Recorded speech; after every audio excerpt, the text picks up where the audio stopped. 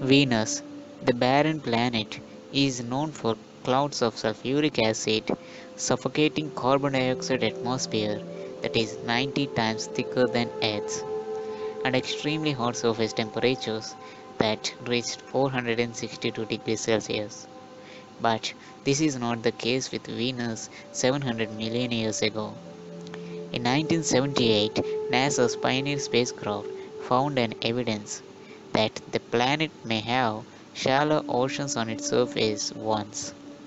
According to a new study, Venus may have perfectly habitable environment for 2 to 3 billion years, suggesting life would have ample time to emerge there. Based on several investigations, it's believed that Venus may have been planet hosting liquid water for 2 to 3 billion years. Researchers from NASA's Goddard Institute for Space Studies shared a series of five simulations that show what Venus environment would be like based on different levels of water coverage. All five of the simulations suggest Venus may have been able to maintain stable temperature ranging from low of 20 degrees Celsius to high of 50 degrees Celsius for about 3 billion years.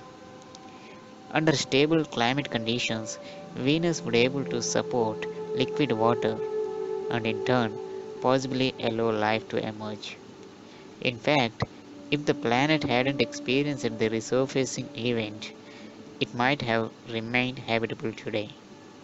Okay, how has it lost its environment?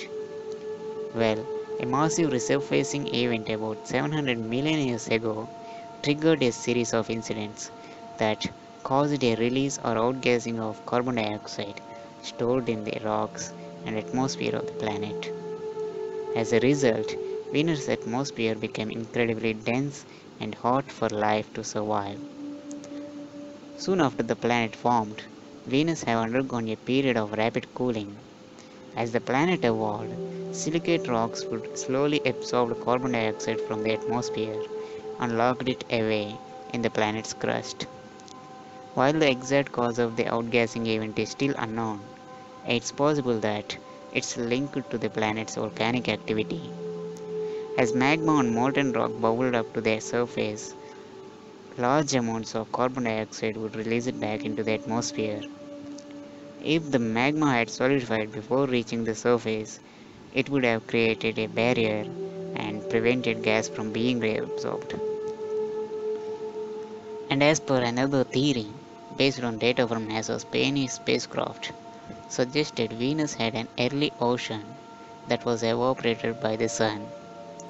When this happened, water vapor molecules in the atmosphere were split apart by ultraviolet radiation, and the hydrogen escaped into the space.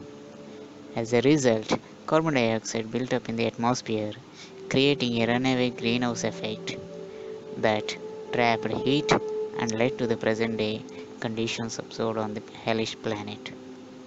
Okay, now is there any possibility for life on Venus? Yes, however, a few scientists who think that it is possible for life to exist in the clouds of Venus. Temperatures and pressures up there are close to those of Earth's surface, so it's possible that Venusian life. Those clouds are made mostly of sulfuric acid, which seems to argue against the Venus life idea.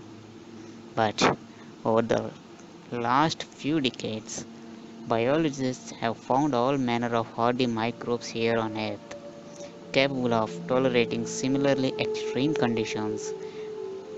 And these acidic Venus clouds could potentially provide chemical energy to any microbes that may be floating around up there.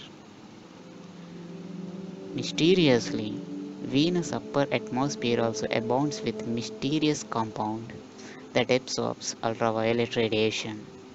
Nobody knows what this stuff is and where it comes from.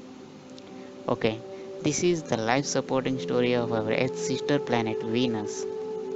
Let's reunite with the life supporting story of another planet in this series. Don't forget to subscribe, like, and share. Thanks for watching.